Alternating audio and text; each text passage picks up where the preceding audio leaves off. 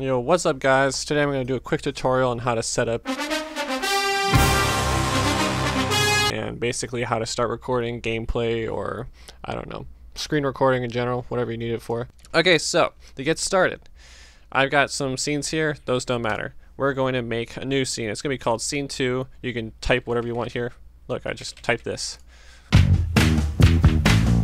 Enable preview, there's literally nothing, a void.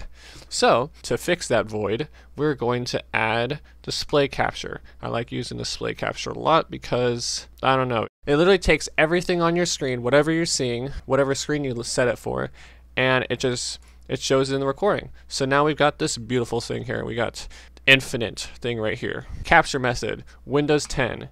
If you're running something slower, probably this one, but I think Windows 10 from what I saw online is the best. And then you can change the monitor. I'm going to leave it on my main monitor. Capture cursor, you probably want that so people know where your cursor is. Now, you got a problem. You got no audio. There's supposed to be audio here. So, we're going to add two things. We're going to get audio capture device and then set that to your headphones so you can hear game audio or Discord or both, and then audio input capture. This is going to get your microphone. I got two set here. This is my webcam. I turned it on for a joke the other day. Probably should turn that off. So now you got these here. They're capturing audio for you. There's nothing coming in for the computer stuff, but I'll just open a YouTube video up real quick. We're going to listen to Peter Griffin, You Are My Sunshine. You are my sunshine. See? It's moving. this is so stupid. We got this all set up, but now we got to set up two other tabs in your settings. All right. I'm going to make this big so that way you guys can see. Base canvas, I set this to be on my monitor size. Uh, output, also set this to be your monitor sky, uh, size. If you want to do like rescaling, you can do that, but I find that too complicated, so I'm not going to cover that. FPS, this is where you set it. I have mine set at 60. I think that is a perfect FPS to record gameplay or whatever at. If you're doing like, I don't know, tutorials and stuff like I'm doing right now, you probably would actually set this at something like 30. You're seeing this recording in 60 right now, but I'm using NVIDIA to record it. Output. Switch this. I actually made this mistake a bunch. Switch this from streaming to recording. So you can edit your recording settings, set this from simple to advanced. I feel like there's a lot of stuff here. There's only a couple things that you really need to change. Recording path. Set this, you know, the folder you want. So I've got mine going to my files, then my game files, then OBS recordings. It's a new folder I created. So now it's going in there. So every single time I record, it's going into that folder. Recording format, MP4. MP4 for the win. It's literally the best. I don't know how to tell you otherwise. Video encoder.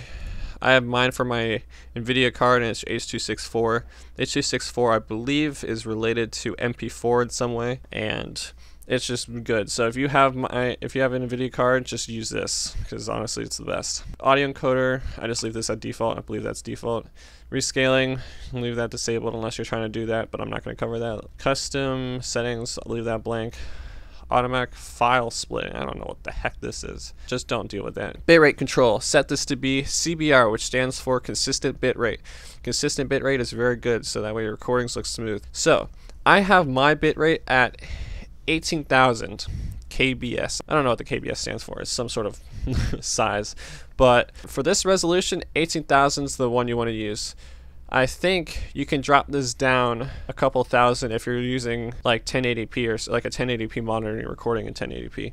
You can drop this down because it depends on the size. You can definitely Google this. I don't know off the top of my head. I might show it on screen. But for this um, resolution, I know that this one works pretty well. Keyframe intervals. Zero is auto, just leave it at zero. Preset, good quality. I don't do the max, I don't do the bottom, I just do good quality. I feel like that's a good spot to leave it at. Tuning, high quality. Multi-pass mode, single pass. Profile, leave this at high. Look ahead, don't check. Uh, virtual tuning, do check. GPU zero and max B frames, I think leave that at two. At least I have always left it at two. So now you are all set up to record. You just click your recording button or you set a keybind for that and it'll start recording like watch. Voila. And then also if you're experiencing a little lag, you can disable preview and that will prevent it from lagging anymore.